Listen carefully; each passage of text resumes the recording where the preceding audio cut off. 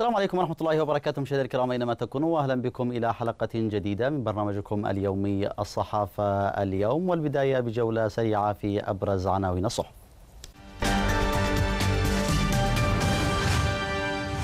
البداية من وكالة الثاني من ديسمبر وفيها نقرأ الحديدة الميليشيات الحوثية ترتكب جريمة جديدة بحق المدنيين.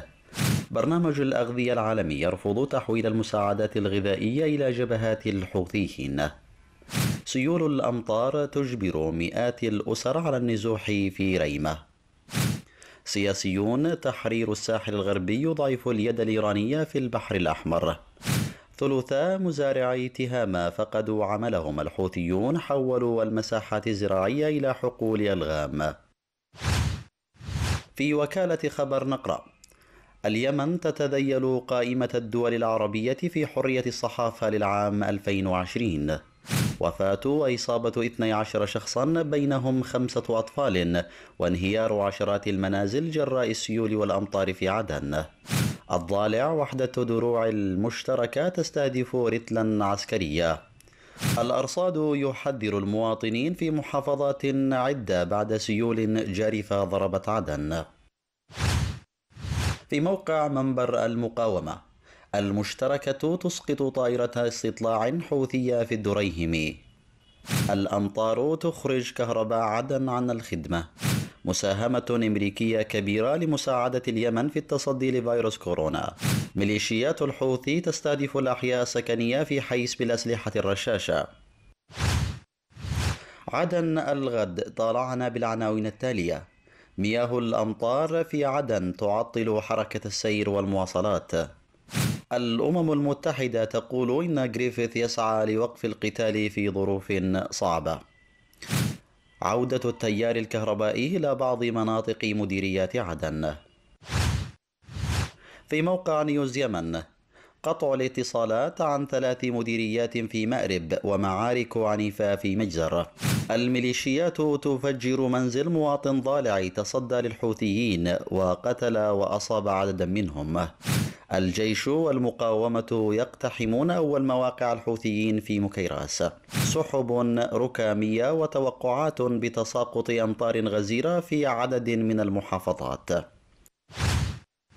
في صحيفة الأيام نقرأ عدن منكوبة أمطار وسيول تفصل مديريات العاصمة عن بعضها.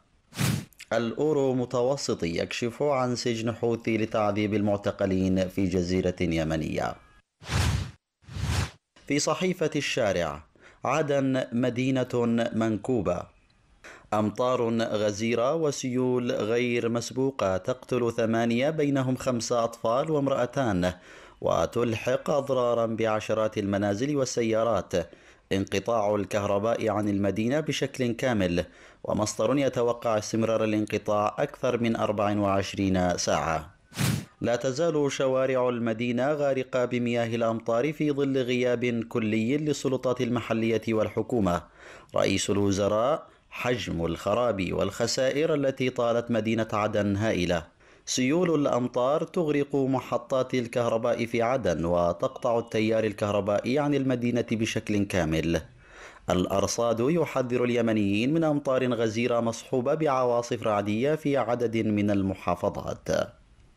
وفي الصحيفة ذاتها أيضا نقرأ مقتل شخص وإصابة ثلاثة آخرين في اشتباكات قبلية وسط مدينة أحور في أبين. محافظ حضرموت يعلن رفع حظر التجوال وفتح المساجد في كافة مديريات ومدن الساحل بدءا من غد الخميس. حول ما حصل في عدن مؤخرا من كارثة بكل المقاييس وكل ما تحمله الكلمة من معنى. كتب عامر العيس مقالا تحت عنوان عدن الغارقة. أنا لست انتقاليا ولا شرعيا ولا إخوانيا مثلي مثل عدن تماما. أبحث عن الحياة والحق عن الوطنية الغائبة والوطن المنهار. فما تغني الأسماء ونحن نغرق بقشاش الشعارات التي لم تزيد عدن إلا عذابا وتشرذما وموتا بكل الأساليب والطرائق. الكل سوف يتغنى بليلى وليلى تموت الكل بحب عدن وعدن تعاني الكل. يسعى سعيا خلف الاستحواذ والمكاسب السياسية والرهانة العسكرية وحياة عدن ووضع أهلها لا يهم أحد فيهم. تبا لكم ولشعاراتكم الجوفاء الأوطان لا تبنى بالأسلحة بل بالأفكار وكل الموجودين على أرض عدن يملكون السلاح ولا يملكون الفكر والإدارة وجميعهم مراهقون سياسيا لم ترى عدن منهم نعمة ولا خيرا غير الموت والدمار. الشرعية تتهم الانتقالي والانتقالية تتهم الشرعية وعدن وحدها تعاني أصناف الموت والعذاب. عدن التي شوهوها بجنادلهم وجنودهم وحربهم دون أن يلتفت أحد للإنسان في عدن دون رحمة لوجعها ومعاناة أهلها ودموع سكانها الغارقين في الأزمات يوما بعد آخر.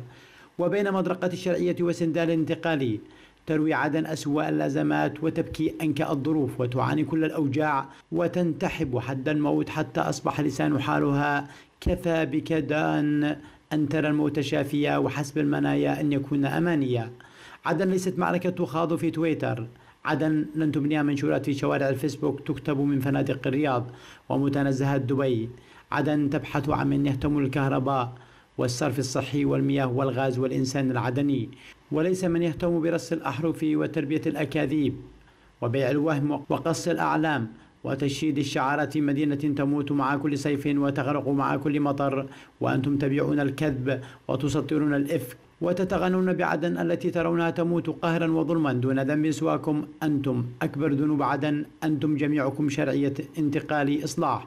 جميعكم فاشلون وعلى أهل عدن أن يخرجوا برجالهم من هذه المستنقعات القذرة ويبنون بلادهم بعيدا عن هؤلاء الأشرار. وهذا المثلث السياسي الذي يذكرني بمثلث برمودا.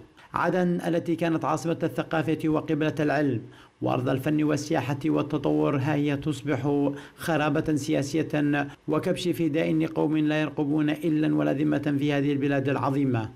الناس شبعت شعارات لا تسمن ولا تغني من جوع إذا لو بدأنا من آخر ما كتبه عامر العيس الناس شبعت شعارات لا تغني ولا تسمن من جوع يسرني أن نناقش آه، هذا الموضوع بل بكل أسف نناقش ما حصل من كارثة في عدن آه، مؤخرا وضيفاي عبر الهاتف الأستاذ جمال بالفقيه مستشار وزارة الإدارة المحلية لشؤون الإغاثة والمنسق العام باللجنة العليا للإغاثة وأيضا الصحفي عبد الخالق الحود نبدأ النقاش بتفاصيل قصير.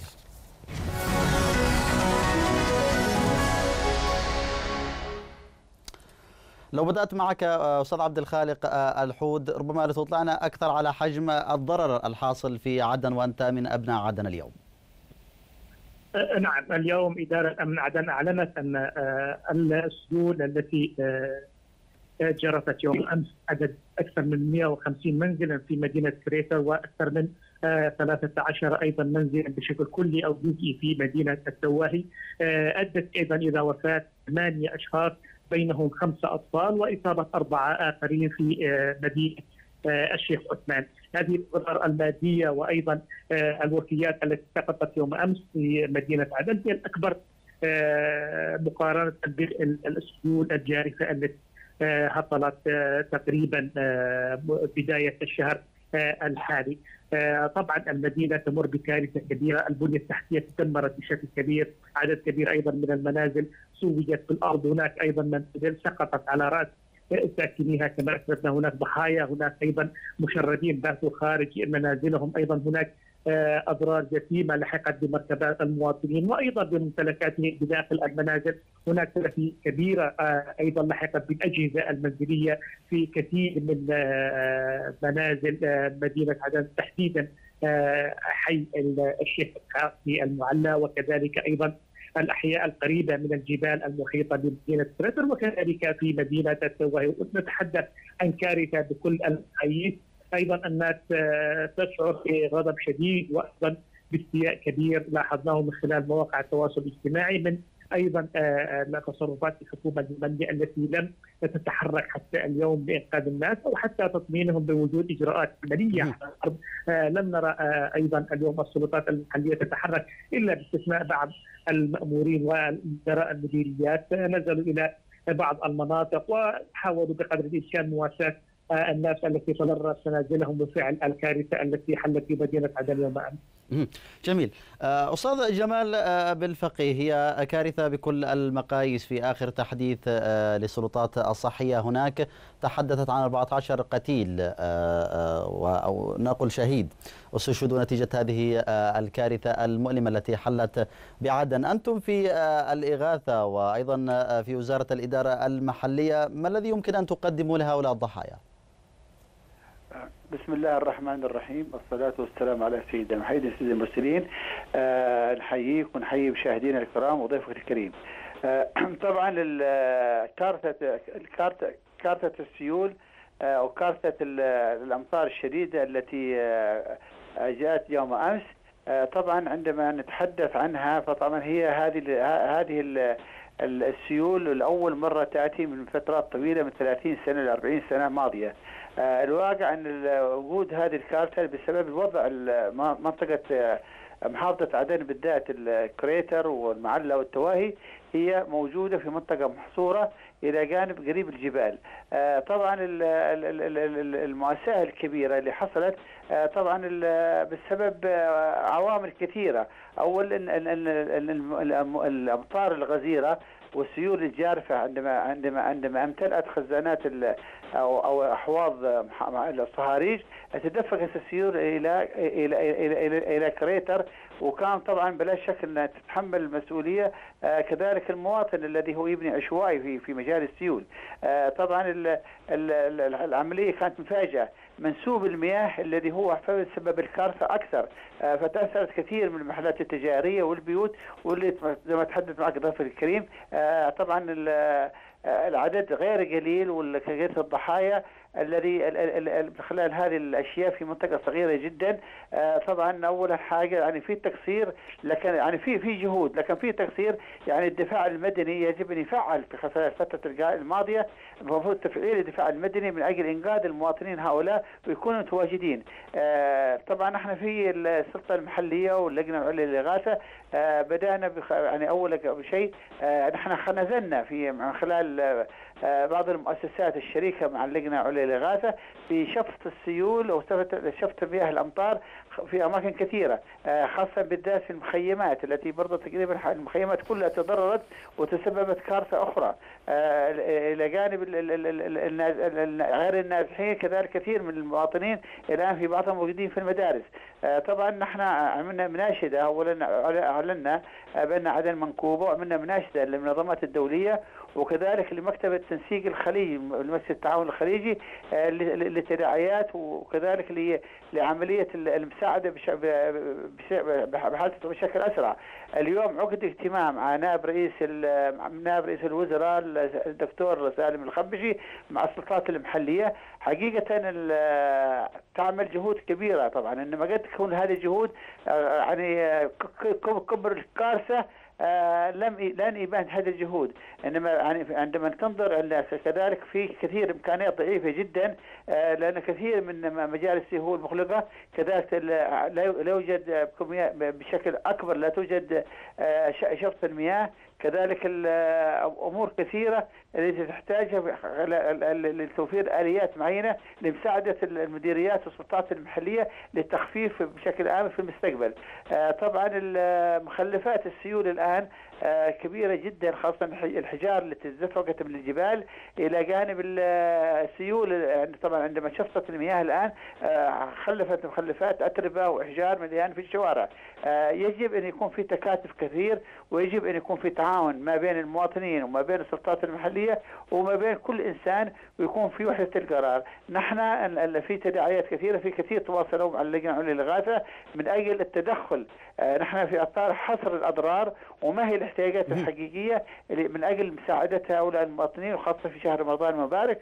ومركز سلمان أبدأ استعداده، المنظمات الدولية بدأت أبدأ استعدادها، فكل الناس إن شاء الله في خلال الفترة القادمة نعم نعمل جميل. سأعود إليك ربما حتى على موضوع آه، آه، لم يكن فقط المتضررين أو في عدن بل حتى في لحج ومخيم النازحين في لحج. سأعود ربما للحديث أكثر عن ذلك معك. لكن دعني أعود إلى الأستاذ عبد الخالق الحود لو أطلعتنا على الأسباب التي جعلت من هذه الكارثة تحل بأبناء عدن ربما هي الحالة الأولى التي تحصل أو تشهد عدن كارثة بهذا الشكل. ما هي الأسباب الحقيقية وراء هذه الكارثة؟ نعم اولا هناك انعدام ثقة بالسلطة المحلية وكذلك أيضا بالحكومة الشرعية من قبل المواطنين. لاحظنا هذا الأمر من خلال احاديث المواطنين. الذين لم يعودوا يثقون اطلاقا بالحكومة الشرعية وإجراءاتها التي ممكن أن تؤدي إلى رفع معاناتهم. كما اسلف ضيفك الكريم كانت حجم الأمطار مهولة وكانت كميه السيول التي دفقت على مدينة عدن غير مسبوقة، كانت السيول كبيرة جدا وكذلك أيضا كما اسلف أيضا ضيفكم لكن تحدث ضيفي أيضا إلى نقطة مهمة أستاذ عبد الخالق أن المواطن لم يلتزم بأشياء كثيرة في عدن وبدأ يبني بنايات عشوائية التي أعاقت ربما حركة السيول. هذه أحد الأسباب وليست سبب رئيس هي أحد الأسباب التي أدت أيضا إلى كارثة أو إلى تدفق السيول وانحرافها عن مساراتها التي كانت تسير عليها في أعوام سابقة امام الاستعمار البريطاني والتي كانت تنزل لمصارف معينة في مدينة سرقة تحديدا وفي مدينة السواهي والمعلى.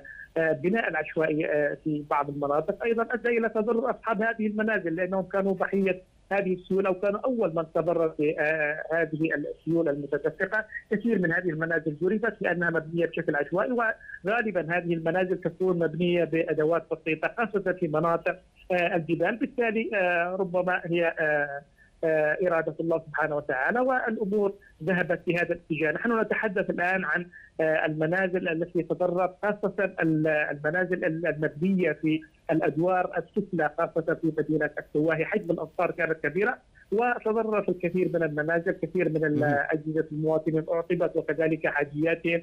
وأيضا لاحظنا أن الكثير من الناس قد هجروا من منازلهم نتيجة امتلائها بالمياه ربما يستغرق الأمر يومين أو ثلاثة. كان الاحرى بالسلطات المحلية أن تبدأ بعمليات شفط للمياه المتجمعة في هذه المنازل. وتحديدا كان الأولى أو اولويات السلطة المحلية إعادة التيار الكهربائي خاصة وأن محافظة عدن كما يعلم الجميع هي مدينة شديدة الحرارة وكذلك في محيطها لكن ربما لعودة التيار الكهربائي أيضا ربما تكون له مخاطر أستاذ عبد الخالق الحوت خصوصا أن مناطق عديدة ما تزال مليئة بالمياه ولا ربما يخاف عليهم حتى من التسرب في التيار الكهربائي لهذه المياه. وهذا ما نسميه سيشكل كارثة.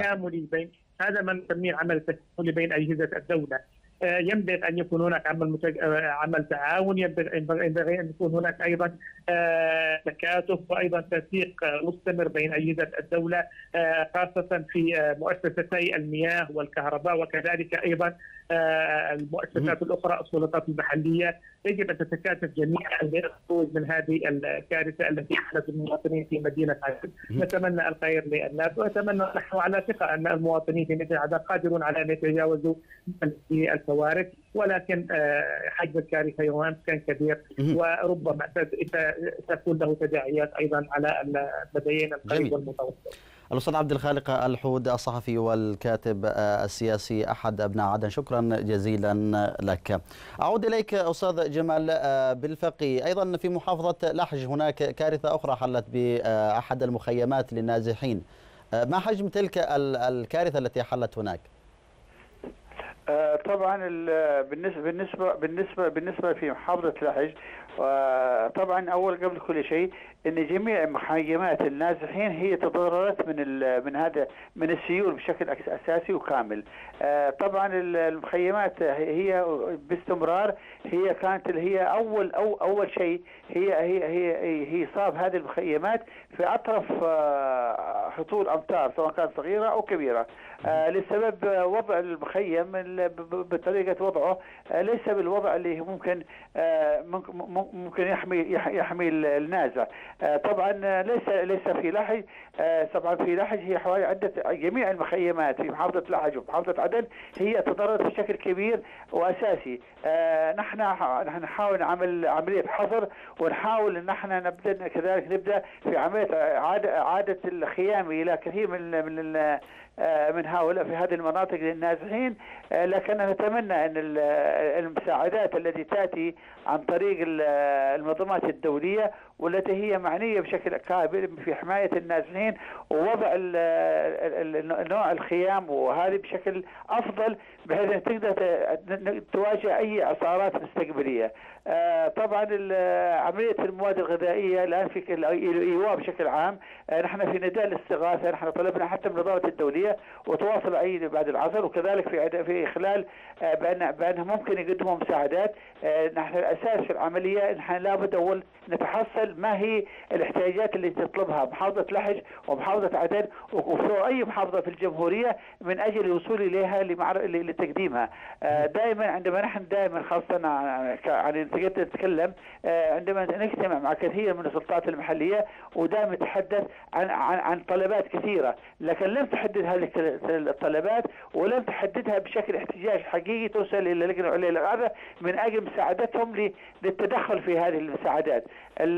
طبعا الجهود اللي تبذل آه، ليس ليس جهود يعني آه، بسيطة. انما إنما قلة الإمكانيات إلى جانب حجم الكارثة هذا من جعل طبعا له الحق المواطن لا يثق وله الحق المواطن إنه يتضايق لأنه في الأخير هو الضحية هو المواطن. آه، طبعا يعني من خلال لقاءاتنا إنه يعني في خلال الفترة القادمة يجب يكون في استعدادات حقيقية لمواجهة هذه الكوارث يجب أن تكون في كل مديرية مستعدة لعملية الشفط في عملية البمبات مش عارف الآليات الموجودة حتى بشكل بسيط بحيث إنها ممكن تقوم بعمل الشفط وعملية منقاد المواطنين. وتدخل آه تدخل سريع ربما آه طبعا آه أيوه إذا وجدت امكانيات في تدخل سريع. جميل جميل. دعني أقف عند هذه النقطة أستاذ آه، جمال. وأنتقل ربما إلى الاستاذ فتحي بالأزرق رئيس تحرير صحيفة عدن. آه، الغد أستاذ فتحي وأنت الأقرب إلى الكارثة ما حجم الكارثة اولا مساء الخير وتحية طيبة لك ولجميع مشاهدي آه، قناتكم الكريمه وتحية آه، طيبة لضيوفكم الاكارم. آه، إلى أين وصلت الكارثة عدن؟ ربما هذا هو السؤال الأكبر والأكثر الحاحا في الوقت الحالي. مدينة عدن عاشت ظروف مأساوية يوم أمس الثلاثاء هطل المطر لأكثر من ست ساعات أو خمس ساعات متواصلة. آه، في مدينة بنيتها التحتية متهالكة آه، وممرات الصرف الصحي معطلة آه، مصارف السيول أيضا ألغيت إلى حد كبير خلال العقود الأخيرة وتهالكت أيضا والبناء العشوائي قضى على ما تبقى منها. في ظل هذه الملامح المأساوية للوضع العام في عدن كان هناك أيضا غياب حقيقي للدولة ومؤسسات الدولة والسلطة المحلية آه، والأجهزة التنفيذية بشكل عام. آه، بالتالي كانت المأساة متضاعفة آه، لو أن الدولة كانت حاضرة ومؤسسة الدولة حاضرة كانت هناك ستكون هناك مأساة وستكون هناك مشكلة كأي مشكلة تحدث في أي مكان في العالم لكن مع غياب التحرك الحكومي مع غياب الدولة مع غياب مؤسسات الدولة للأسف الشديد كانت المأساة مضاعفة وكانت المشكلة أكبر مما آه، كان يجب أن يحدث آه، بالتالي نحن الآن أمام آه، أكثر من أربع مديريات تعرضت لضرر كبير هي التواهي والمعلى وكريتر وأيضا المنصورة والشيخ عثمان. المديريات الأخرى الضرر ربما فيها أخف بسبب أنها مناطق لا يوجد فيها مناطق جبلية أو خلاف كذلك. لكن آه، الضرر الكبير هو في المعلى والتواهي وكريتر. آه، نعم. هناك أكثر آه، من حوالي ربما 1000 أسرة أو 500 أسرة. العدد كبير جدا الاسر المشردة. هناك عشرات المنازل التي تهدمت عشرات المنازل التي تضررت. عدد الوفيات حتى ظهر يوم الأربعاء بلغ ثمانية أشخاص آه، يعني آه، الوضع كان للأسف الشديد آه، الصورة الفيديو الذي الفيديوهات التي نقلت عبر مواقع التواصل الاجتماعي ربما ستكون أبلغ من أي حديث أو من أي وصف أو أو من أي شرح. هناك مأساة وهناك للأسف الشديد لا يوجد أي تعاطي لا من التحالف لا من الحكومة لا من الأطراف المسلحة التي في عدن الكل للأسف الشديد عاجز عن تقديم شيء يذكر. جميل مع كل حجم الكارثة التي تحدثت عنها أستاذ فتحي بالأزرق ربما ألف أسرة مشردة تحدثت عنها عشرات المنازل دمرت كل هذا الخراب الذي حصل في عدن هل دفعت عدن ثمن خلافات الساسة؟ بالتأكيد المؤلم في عدن أن عدن كانت تسمى ثغر اليمن الباسل، كانت عدن هي النموذج الحقيقي آه، للدولة، النموذج الحقيقي لسياده القانون، النموذج الحقيقي لوجود المؤسسات، كانت المؤسسات الدولة آه، تغيب أو تضعف في بعض المحافظات اليمنية الأخرى لكن عدن تظل حاضرة. عدن منذ خمس سنوات تدفع ضريبة مأساوية لصراع عبثية بين أطراف سياسية مختلفة. ارتفعت الأصوات أكثر من مرة ونادت الأصوات العاقلة وقالت إنه يجب تحييد عدن من الصراع السياسي السائر أو آه، تاجيل أي صراع آه، إلى وقت آخر لكن آه، الأطراف السياسية أبت إلا أن تجعل من عدن ساحة للصراعات السياسية فيما بينها وفي الأخير المؤلم أن المواطن العادي هو المتضرر لا يتضرر السياسي ولا القيادي العسكري ولا القيادي الأمني هؤلاء كلهم وكل أسرهم في الخارج لكن المتضرر هو المواطن العادي الذي للأسف الشديد تضرر بشكل كبير من من حالة الصراع السياسية الدائره. آه، عدن تضم كل اليمنيين عدن تضم آه، مئات الآلاف من النازحين محافظات أخرى تضم حوالي حاليا أعتقد أنها تقترب من 3 مليون نسمة. بالتالي آه، وضعها كان يجب أن يكون وضع مميز وكان يجب ان يوقف يوقف الصراع في اللحظات الأولى وأن لا تذهب الأطراف صوب حاله الصراع التي أضرت المدينة، المدينة اليوم لا مؤسسات حكومية شغالة فيها. ولا محافظ ولا سلطة محليه ولا مؤسسه صرف صحي آه للأسف الشديد آه وضع عدن من أصعب آه الظروف أو من أصعب الأوضاع التي تعيشها اليمن. أستاذ فتحي ربما البعض يتحدث أن آه، تسخير الجهود وتسخير الإمكانيات وتسخير الموارد في محافظة عدن كلها صب خلال الفترة الماضية باتجاه التسليح واتجاه العسكري وكل هذه الأمور بل زاد الأمر تعقيدا أن هناك آه، ربما قطعت أوصال الشوارع ب كنتونات آه، سواء كانت صخرية أو حتى بالخرسانة المسلحة وهو ما فاقم آه، ربما السيول وما كل ذلك لكن الإشكالية أنه لم يتم تسخير أي موارد أو جهود آه، نحو البنية التحتية نحو إصلاح آه، الصرف الصحي آه، إصلاح ممرات السيول وكل هذه الأمور ما مدى صحة ذلك؟ يا عزيزي عدن حتى اليوم الناس يسيروا على الشوارع التي أنشئت في عهد الزعيم علي عبد الله صالح سواء من طرقات سواء من كسور سواء من مؤسسات حكومية سواء من مدارس سواء من حتى حتى أعمدة الإنارة هي آه، أنجزت قبل العام 2011 لم يحدث في عدن حتى إنجاز مشروع ثلاث على حساب الدولة أو على حساب السلطة المحلية رغم أن عدن أساسا آه، تملك مقومات آه، إيرادات مالية ضخمة جدا بينها الميناء النفط الضرائب عوائد الأسواق عوائد القاس لكن كل هذه الأشياء للاسف الشديد تتسرب آه، إلى جيوب آه، مترفدين، عدم مشكله اليوم أنها مقسمة بين ألف وألف قائد عسكري، بين ألف وألف قائد آه، جماعة مسلحة، يعني كل الأطراف للاسف الشديد فشلت في إدارة عدن خلال الفترة الماضية والصراع أضرها بشكل كبير، قلنا أكثر من مرة قلنا أنه عدن لا تحتاج إلى حاله الصراع هذه، من يستطيع أن يحكم عدن؟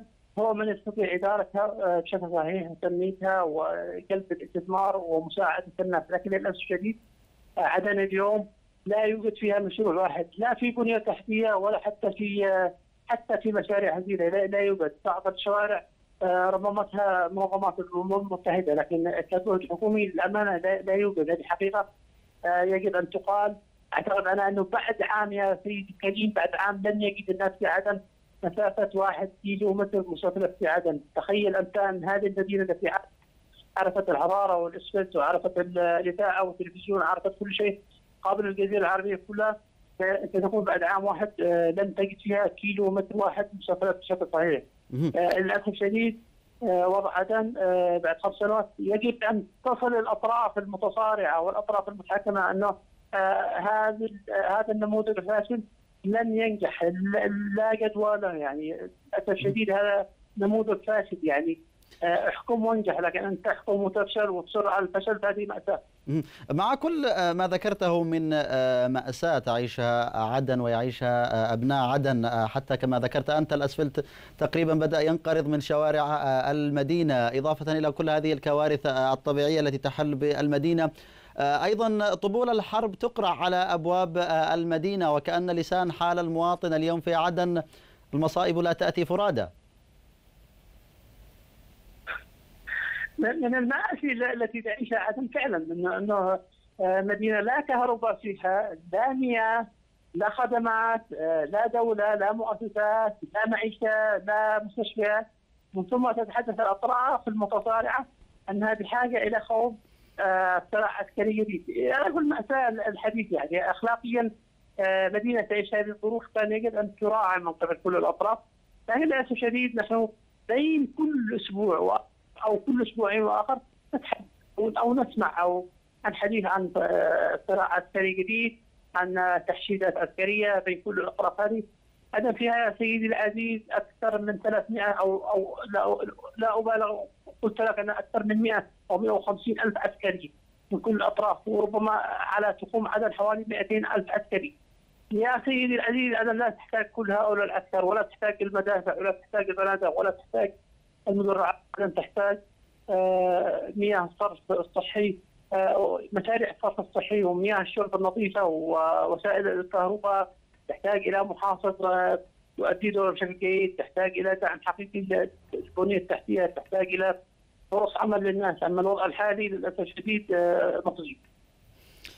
أشكرك جزيل الشكر الصحفي والكاتب السياسي المعروف فتحي بالأزرق رئيس تحرير صحيفة عدن الغد. كنت ضيفي عبر الهاتف. الشكر أيضا موصول للأستاذ جمال بالفقي مستشار وزارة الإدارة المحلية وأيضا المنسق العام باللجنة العليا للإغاثة. إضافة إلى ضيفي الآخر عبر الهاتف كان معنا عبد الخالق الحود الصحفي والكاتب دائما. وابدا الشكر لكم أنتم مشاهدينا الكرام أينما تكونوا على حسن الإصغاء والمتابعة. إلى اللقاء.